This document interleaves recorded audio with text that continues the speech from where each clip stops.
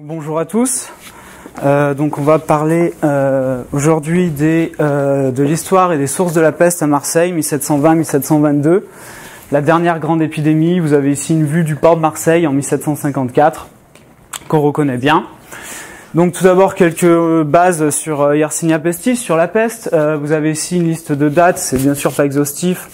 donc Yersinia pestis tout d'abord est l'agent étiologique de la peste, c'est une bactérie gram négative de la famille des entérobactéries. En 1894, euh, l'isolement de Yersinia pestis est fait à Hong Kong par le pasteurien Alexandre Yersin. Vous avez une photo ici d'Yersin devant son laboratoire. Justement, comme l'a dit le professeur Raoult, il avait rien. Vous voyez, il n'y avait même pas de fenêtre. C'était une hutte. Ensuite, en 1898, Paul-Louis Simon en Inde à Karachi montre que démontre le rôle du rat et des puces dans la vectorisation de la peste. Donc on sait maintenant que la peste est une zoonose et que l'homme n'est qu'un hôte accidentel. Ensuite, si on fait un petit bond dans le temps, on arrive en 2001 au séquençage complet euh, du génome de Yersinia pestis, la souche CO92, qui est la souche de référence.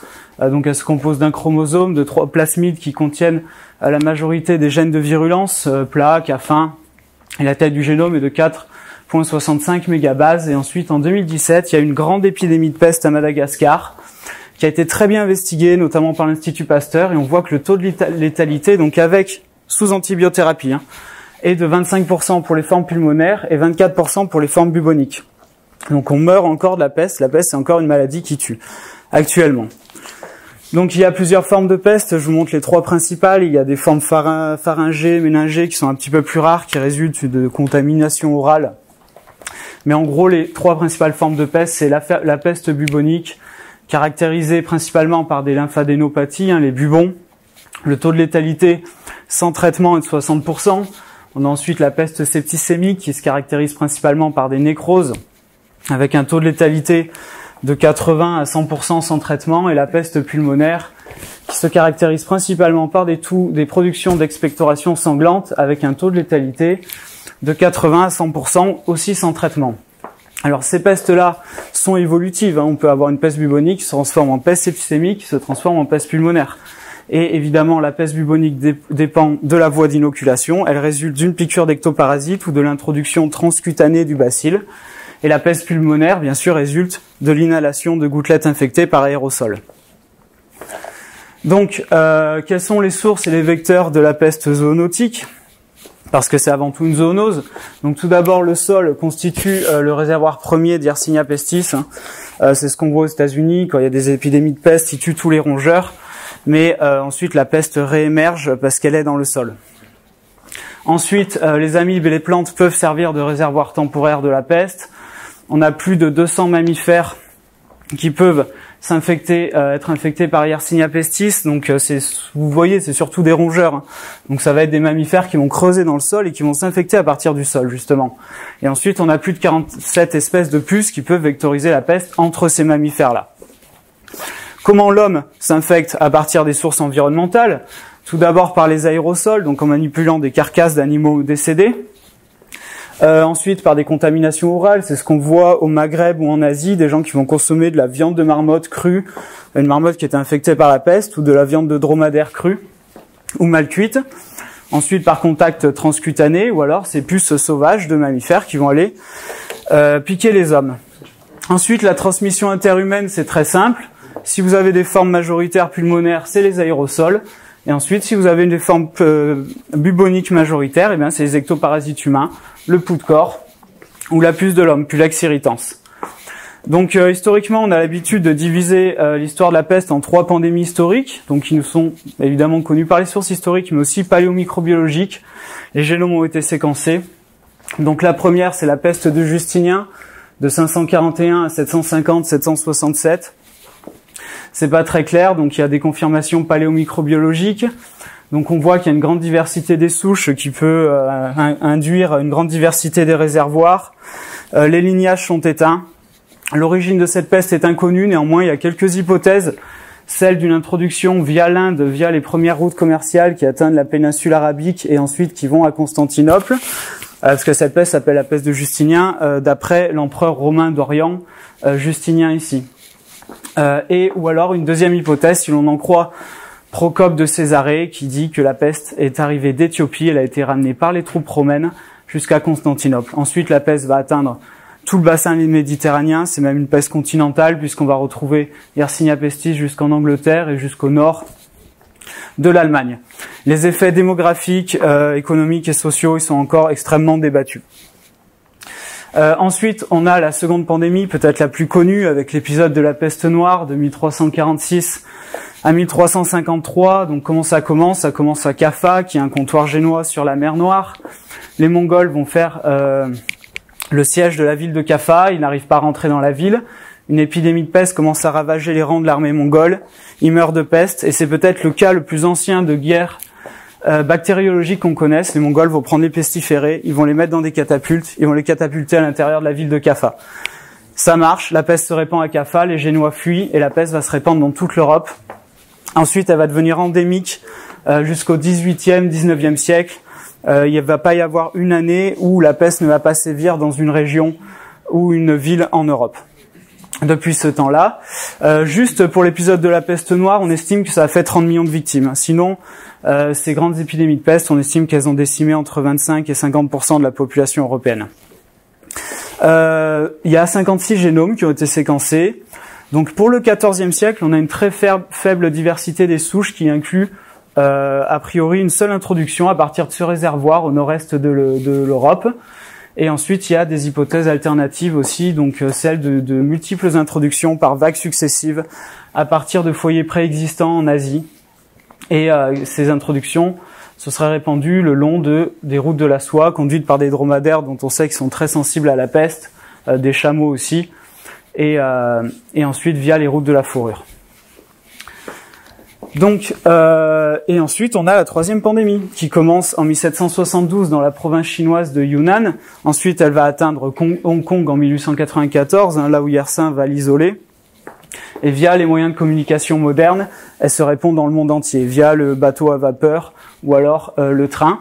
Vous avez ici euh, une carte qui vous montre l'état de la peste du monde dans le monde en 2018. C'est pas du tout une maladie qui a disparu. Elle a seulement disparu d'Europe. Euh, évidemment, c'est une carte euh, avec les données de l'OMS, donc c'est une carte qui est plus politique euh, qu'écologique. Mais en tout cas, les pays rapportant le plus de cas de peste, sont le Congo, l'Ouganda, la Zambie, Madagascar, euh, suivi par la Chine, la Tanzanie, les États-Unis, où il y a beaucoup de cas, et le Pérou. Et en fait, toutes les connaissances dont je viens de parler, euh, les rats, les puces, euh, tout ça est dérivé en fait euh, de connaissances de la troisième pandémie. C'est fait à partir de la troisième pandémie par tous ces grands chercheurs, Yersin, Simon, Mollaret, qui va montrer le rôle du sol, Balthazar. Et donc, on n'a pas vraiment de connaissances qu'on a dérivées à partir des épidémies historiques, que ce soit la première ou la deuxième. Donc là, on va revenir un petit peu au cœur de notre sujet, qui est la peste de Marseille. 1720-1722, une des dernières épidémies en Europe occidentale de peste et la dernière en France, la dernière grande épidémie de peste en France. Donc euh, voilà l'état de Marseille en 1700. Donc c'est la deuxième ville du royaume par le nombre d'habitants. Euh, on a eu de la chance en 1716. Donc euh, quatre ans avant la peste, il y a un recensement qui a été fait. On est à 88 685 habitants.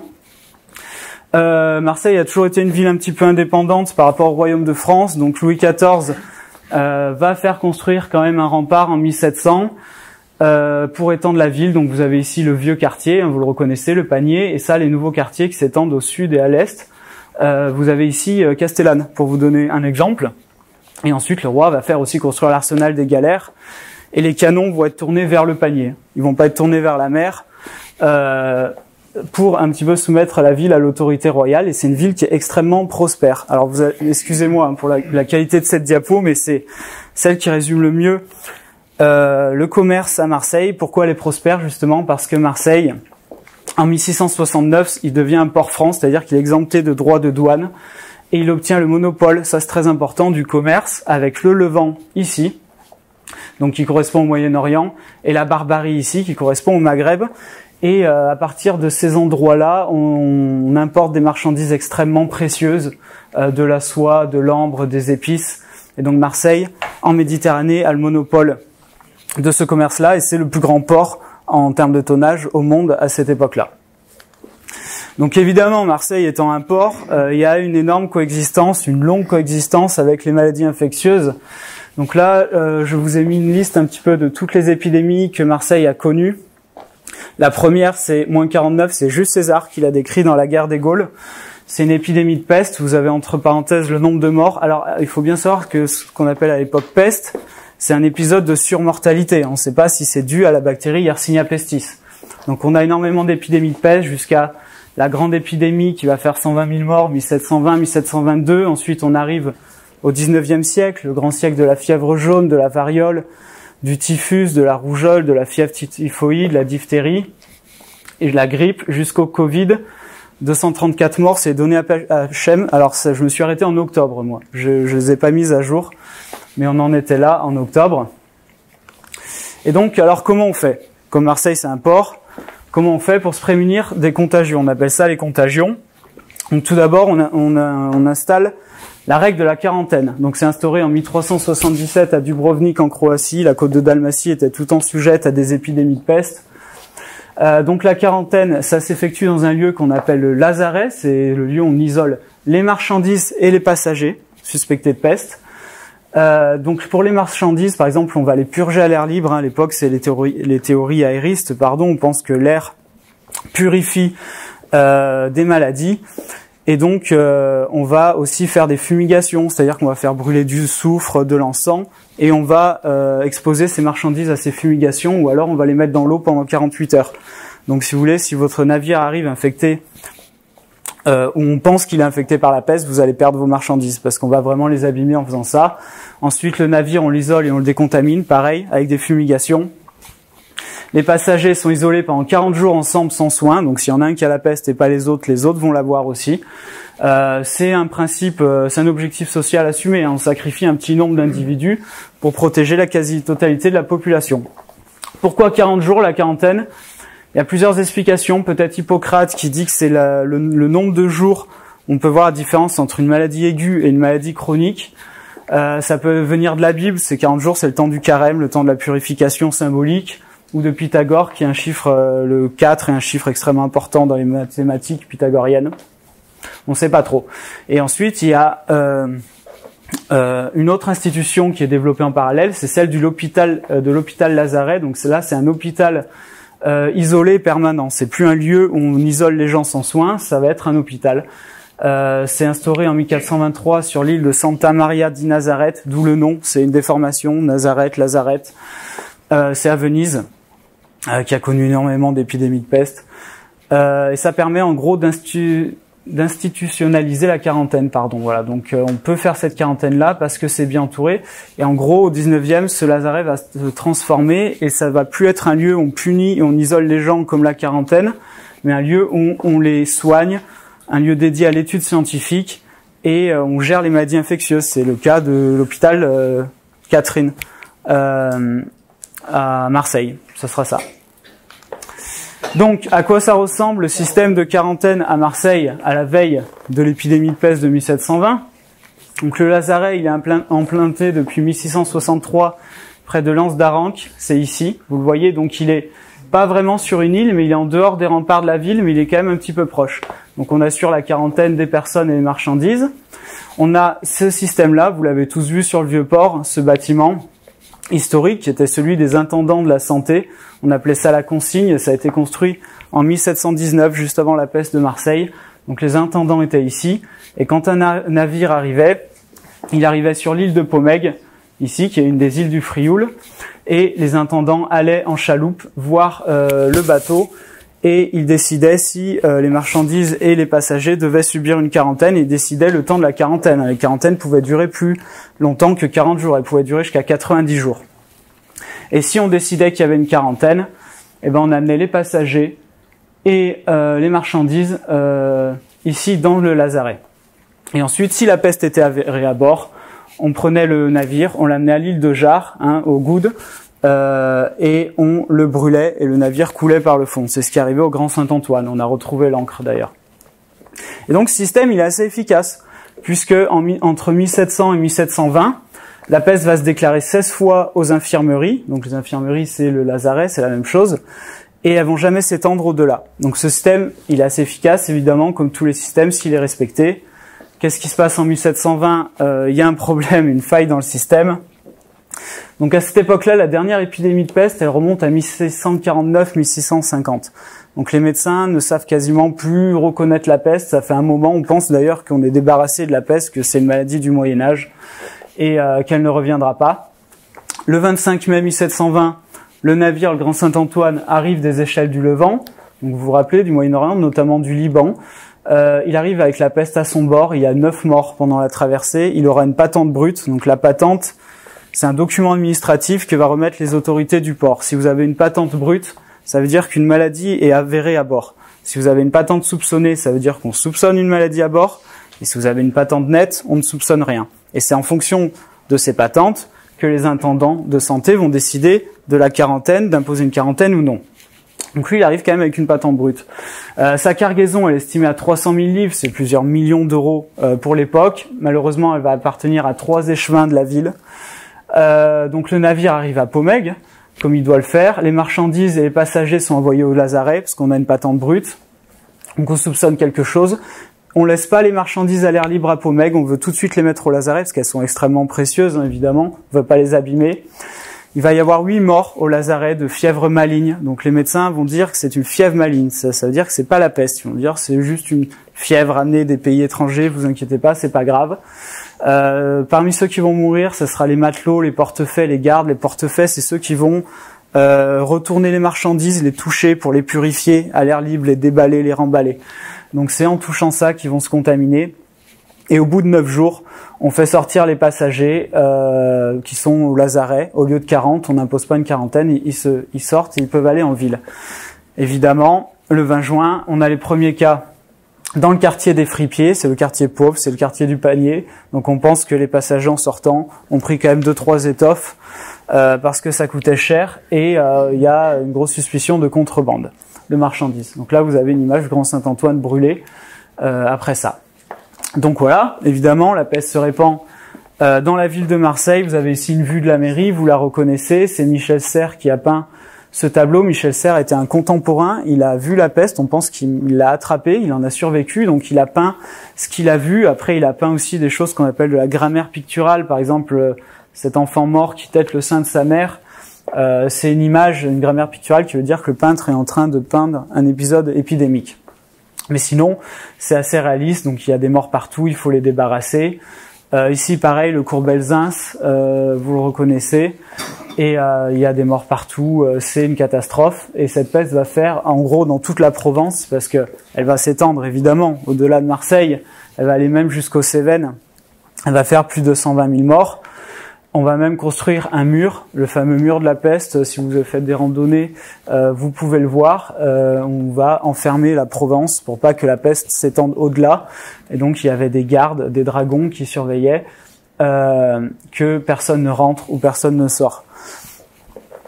Donc évidemment cette peste-là, elle est documentée par paléomicrobiologie. C'est les travaux pionniers faits dans ce laboratoire en 1998. Donc on sait qu'elle est due à Yersinia pestis. Mais il y a une grande question, c'est quelles étaient les sources et les vecteurs de cette peste-là euh, alors il faut bien savoir que, euh, faut bien comprendre que les pestes de la seconde pandémie, donc de 1346, 18e, 19e siècle, euh, n'ont rien à voir avec celles de la troisième pandémie, celles que, que Yersin par exemple a étudiées. Elles sont beaucoup plus violentes, massives. On peut avoir plus de 90% de mortalité dans ces pestes-là. Et les sources et les vecteurs, ils restent spéculatifs, infondés ou dérivés de modèles mathématiques. Donc il y a plusieurs hypothèses. La plus évidente, celle qu'on connaît tous, c'est celle des rats et des puces. Donc c'est quelque chose qui est dérivé des travaux de Simon en 1898 à Karachi. Alors c'était vrai en 1898 en Inde. Est-ce que ça l'était euh, pendant la seconde pandémie en Europe? On ne sait pas. Ensuite, il peut y avoir le modèle qui pourrait expliquer une grande mortalité, celle d'épidémies majoritairement pulmonaires. Ça, c'est les choses qui sont dérivées de l'épidémie de Mandchourie 1910-1911, dont on pense qu'elle a été principalement pulmonaire, même s'il n'y a pas beaucoup de confirmations euh, microbiologiques. Ou alors, euh, l'hypothèse des ectoparasites humains, dérivée principalement d'un modèle mathématique fait par Dean euh, et publié dans le journal PNAS. Donc nous, le but ici, c'était bah, de revenir aux sources historiques, aux textes historiques, parce qu'il n'y a que avec les textes historiques qu'on peut avoir une idée de ces vecteurs. C'est pas en faisant euh, des génomes de peste qu'on va pouvoir euh, élucider cette question. Donc on a voulu revenir aux textes historiques, faire une réanalyse naïve et non biaisée des textes anciens avec un logiciel, vous allez voir. Donc ce qu'on a fait, c'est qu'on a pris 16 textes euh, de la peste de Marseille, dont on sait qu'elle est due à Yersinia pestis, 1720-1722, 16 textes sur la peste de Milan, celle-là n'est pas encore confirmée comme étant due euh, à la bactérie Yersinia pestis, 1629-1631. On a inclus des contrôles négatifs, c'est à ma connaissance la première fois qu'on inclut des contrôles négatifs euh, dans une analyse historique. En fait, on a voulu faire exactement comme une analyse biologique. Vous allez le voir, c'est un petit peu le même workflow. On a euh, utilisé des textes donc du XVIIIe siècle. On voulait avoir le même vocabulaire et évidemment, ces textes parlent de tout sauf de la peste. Et ensuite, on réalise l'analyse avec le logiciel R en utilisant un package Dissect2 qui à la base c'est un outil d'analyse de l'expression différentielle des transcriptomes. Et on s'est dit, ok, l'ADN c'est les séquences de lettres, les mots aussi, donc ça devrait marcher. Et vous allez voir, ça a marché. Vous avez ici euh, un petit peu le workflow. Euh, donc on a pris euh, des, nos textes euh, qui étaient numérisés par Google Books, nous les avons importés dans le logiciel R, nous avons nettoyé les mots, enlevé les accents, on les a réparés, donc c'est-à-dire qu'on a pris des dictionnaires du XVIIIe siècle, et seuls les mots qui matchaient avec ce dictionnaire ont été gardés, comme ça les mots qui étaient mal transcrits, on a pu les supprimer. Ensuite, on fait notre analyse. Notre analyse nous donne euh, tous les mots qui sont enrichis dans nos textes de PES par rapport au texte contrôle. Et c'est ces mots-là qui nous intéressent parce que c'est-à-dire qu'ils sont significatifs. Ensuite, on fait une représentation en word cloud. La taille des mots va dépendre d'une p-adjust parce qu'on va attribuer à chaque mot une p-adjust comme en biologie de 0.05, la même. On fait une nested analysis, c'est on va essayer de remettre les mots dans un contexte lexical, vous allez le voir plus tard. On catégorise ces mots, on fait euh, des représentations en réseau et on les compare. Donc on les traduit en anglais pour les comparer, pour voir s'il y a un, langage commun euh, quand on parle d'une épidémie de peste. Donc la première chose à faire était déjà de vérifier si nos textes étaient suffisamment indépendants les uns des autres pour qu'ils puissent être considérés euh, comme des échantillons à part entière. Donc je, dis, je, je parle exprès d'échantillons hein, pour des textes comme en biologie. Donc pour ça, on fait un indice de similarité de Jacquard. Et vous voyez, nos textes qui se ressemblent le plus euh, sur un maximum de 1 étaient à 0.08. Donc ils étaient assez indépendants parce qu'à l'époque, euh, on pouvait reprendre de grandes parties, on parlait pas de plagiat, mais on reprenait des grandes parties des textes de confrères, parce que tous ces textes-là, évidemment, sont écrits par des médecins pour la peste de Marseille.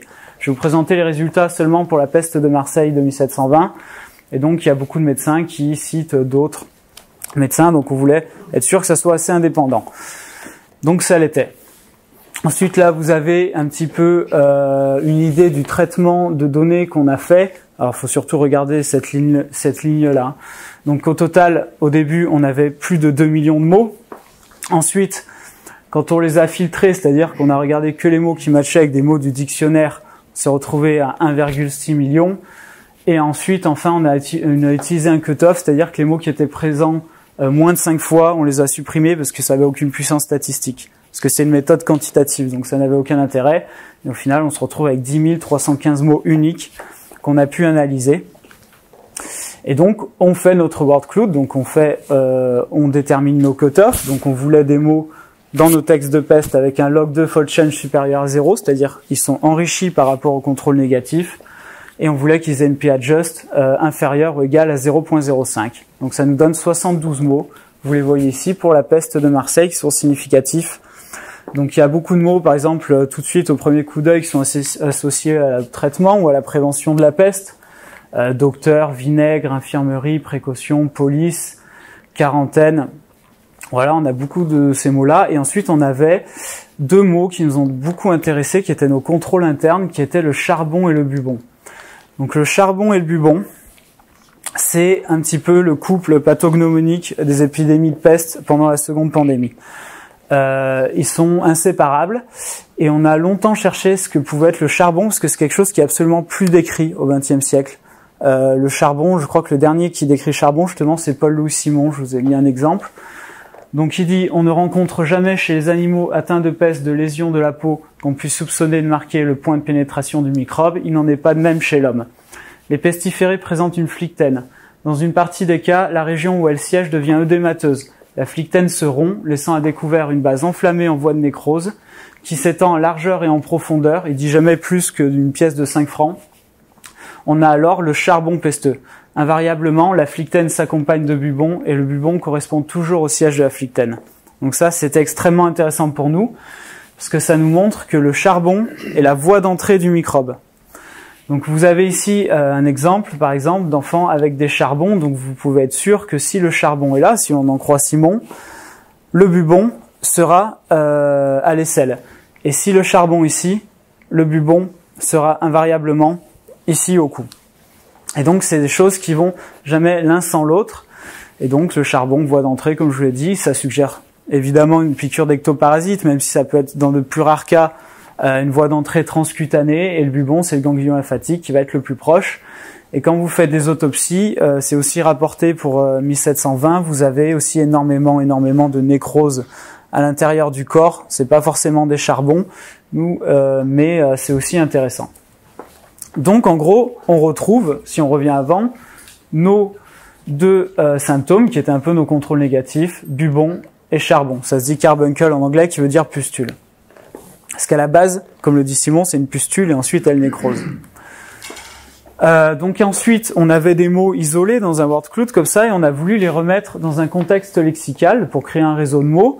Donc on a créé ce qu'on appelle une analyse nichée. Donc c'est très simple, vous allez voir, on prend le mot d'intérêt, par exemple bubon, je veux savoir dans quel contexte lexical se trouve bubon. Et je demande au logiciel de regarder 15 mots avant bubon et 15 mots après de me dire de la même manière quels sont les mots significatifs autour de bubon dans toutes les phrases où Bubon se trouve. Et vous voyez, ça marche très bien. Donc là, on a tous les mots autour de Bubon, c'est en français. Donc on a les localisations haine, cuisse, aisselle, parotide.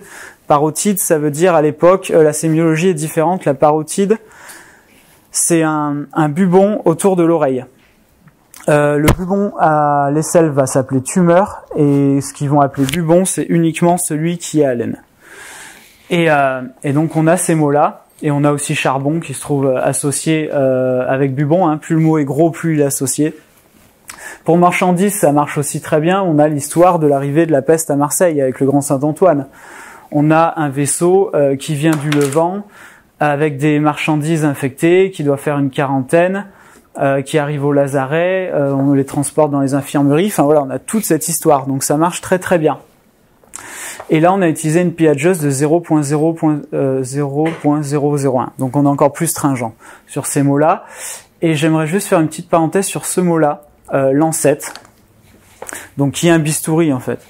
Et euh, on a longtemps pensé que euh, avant l'arrivée des antibiotiques, tous les traitements qu'on utilisait pour la peste étaient inefficaces et ne servaient à rien. Et c'était un petit peu l'image des médecins de Molière qui faisaient plus de mal que de bien. Et euh, en analysant les textes, on, a, on s'est rendu compte qu'il y avait un traitement. Euh, vous le voyez ici, vous avez une image sur cette fresque de ce traitement-là qui était, euh, enfin un traitement, une prise en charge médicale qui était de ramollir d'abord le, le, bubon, euh, de l'inciser, ensuite on le vidait, on retirait les ganglions lymphatiques qui étaient nécrosés à l'intérieur, on nettoyait la plaie, et en fait ce geste-là, il semble relativement efficace et il semble euh, sauver un grand nombre de patients. Donc là on est en train de de regarder justement, de quantifier ça, de voir si vraiment il y avait une efficacité ou pas. Mais en tout cas, c'est extrêmement intéressant parce que euh, la plupart des médecins disent que après avoir essayé un grand nombre de traitements, les saignées, les cordiales, c'est ça qu'il faut faire et c'est ça qui marche le plus. Donc voilà. Et on le voit justement dans notre analyse nichée. Hein. C'est vraiment associé à bubon, bah, c'est la lancette. C'est ça qu'on fait tout de suite quand il y a un bubon. Euh, ensuite, bah, on peut créer nos réseaux de mots. Euh, vous l'avez vu. Donc là, par exemple, c'est on a pris nos sources de peste et on voit que marchandises, meubles, euh, hard ou air sont liés à infecté, fatal, euh, communication, contagious. Donc ça marche aussi. Ensuite, euh, le principe a été de remettre ces mots-là dans des catégories de les classer. Donc le, principe est de revenir le plus tard possible au texte. Hein. C'est, on essaye de faire quelque chose de non biaisé. Donc c'est d'abord l'ordinateur et les statistiques qui nous disent c'est ces mots-là qui sont intéressants, qui sont importants. Après nous on les lit, on les remet dans le contexte lexical avec euh, cette nested analysis, et ensuite on revient au texte pour les remettre dans, dans des catégories. Donc les catégories les plus présentes représentés, ce sont les conséquences de la peste, des mots liés aux conséquences de la peste, des mots liés à la réponse publique de la peste, euh, par exemple l'hôpital, la police. C'est des choses qui étaient là avant, prévention, mais après, la peste a pris une telle ampleur qu'on a dû construire de nouveaux hôpitaux, appeler de nouveaux docteurs, euh, mettre des forces de police pour faire justement respecter un confinement aux gens. Ensuite, euh, des mots liés à la nature de la peste. Donc nous, évidemment, ce qui nous a intéressé le plus, vous vous en doutez, sont les mots liés aux sources de la peste. Donc euh, on a regardé ces mots-là, on a regardé combien de fois ils étaient utilisés dans le texte et combien de fois ils étaient utilisés comme une source de peste. Et on a quantifié ça. Et pour la peste de Marseille, vous voyez, bien, ces marchandises, tater, donc les hard, mouvables, les meubles, c'est les biens meubles, hein, c'est les choses qu'on peut transporter, les habits, euh, le mot air n'est pas une source de peste, on l'a pensé, mais en fait il est utilisé dans euh, de deux manières différentes, soit comme une source de peste, l'air impur, les miasmes, soit comme une source justement de purification.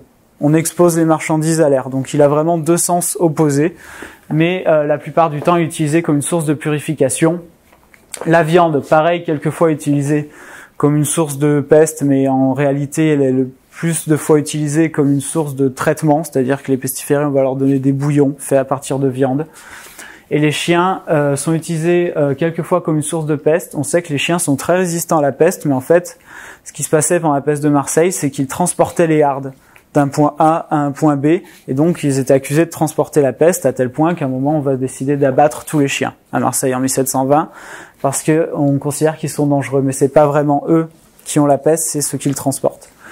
Et pour Milan, c'est un petit peu la même chose. Donc on a stuff, ce mot c'est robé, c'est un mot un petit peu compliqué à traduire. On a fait ça avec Ricardo. Euh, donc pareil, ce sont les biens meubles qu'on peut transporter. Feather, c'est les plumes, mais ce qui est intéressant, c'est que c'est les plumes des oreillers et des matelas. Donc c'est les choses de literie, euh, les habits, pareil, et les draps de lit. Et air, pareil, euh, avec ce, ce, sens un petit peu opposé, une fois pour purifier, une fois pour pas purifier.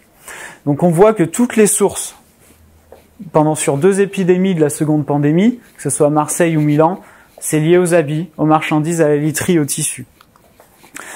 Euh, et on a un résultat dont on n'a pas parlé, mais qui est extrêmement intéressant. C'est un résultat négatif, c'est qu'on a une absence totale des rats et des puces. Jamais les mots rats et puces ne sont associés euh, à des sources de peste, ni à Milan, ni à Marseille. Donc après, on s'est demandé quelles pouvaient être un petit peu les explications biologiques euh, du fait que euh, quand on touche des hardes, quand on touche des tissus, quand on touche des marchandises, on attrape la peste. Et eh ben si on en croit Charles Nicole, euh, qui a eu le prix Nobel de médecine pour avoir découvert le rôle du pouls dans la vectorisation du typhus, justement, ce sont ces ectoparasites-là, notamment le pouls, qui sont présents dans ces tissus-là et leurs fesses aussi. Et en fait, être en contact avec euh, les vêtements, c'est être en contact avec les ectoparasites humains. Et donc c'est comme ça que la peste se transmet. Charles Nicole le dit, il dit quand les gens arrivent avec le typhus, quand on leur enlève leur, habit, on les lave, il n'y a plus de transmission du typhus. S'ils gardent leurs habits, il y a une transmission du typhus via justement cet échange d'habits. Donc on pense que c'est un petit peu la même chose. Donc ce résultat euh, confirme celui de Dean, où il avait fait ça avec un modèle mathématique, donc sur neuf épidémies de la seconde pandémie en regardant quels pouvaient être les vecteurs euh, qui fitaient le plus avec ces cours d'épidémiques, donc soit les ectoparasites humains, soit les pestes pulmonaires, ou soit les rats et les puces, et bien évidemment ce sont les ectoparasites humains qui fitent le plus. Lui, il le montre avec un modèle mathématique, nous on le montre avec une étude historique.